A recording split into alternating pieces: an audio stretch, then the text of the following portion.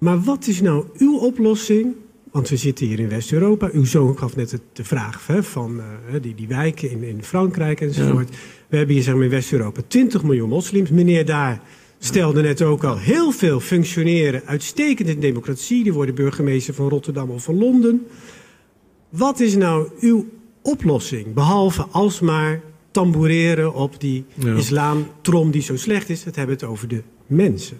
Ja, maar dat is een, een christelijke preek hè, over de mens. hè. Dat, dat kennen we ook al lang vanuit de kansel. Ik heb, katholieke, ik heb katholieke opvoeding gehad. Ik ken dat over de mens en dat soort dingen.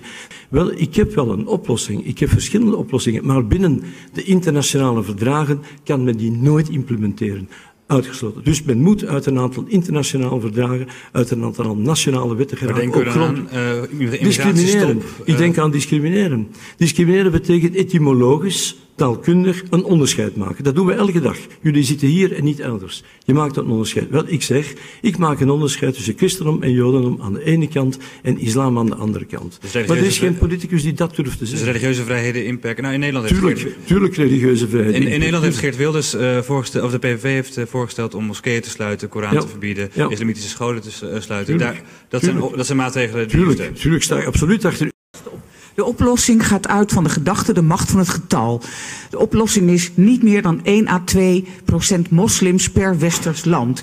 Dus, dus de logische conclusie is, de macht van het, op grond van de macht van het getal. Maar hoe zorg je dan dat in de, in de samenlevingen waar... 1 à 2 procent moslims per land. En dat moet je dus vertalen in minder moslims. En Hans Jansen zei altijd, als je nou begint met het uitzetten van de beroepsmoslims.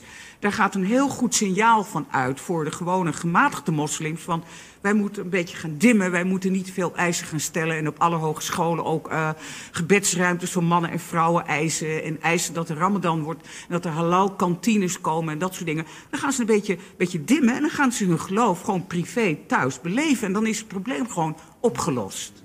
Paul eh, een hoogleraar aan de rechtenfaculteit. Is dit eh, juridisch een beetje rond te, te, eh, te krijgen? Zo'n, Nou ja, eh, ik, ik, ik, ik, ik, ik vind dat jullie dus ehm, eh, met dit soort maatregelen meteen eigenlijk naar, naar, de, naar de meest eh, controversiële en de, en de meest uiterste maatregelen grijpen. Terwijl je, ook, terwijl, je het ook, terwijl je voorzichtiger kan beginnen. Nou ben ik misschien een beetje een poezelaar hierin.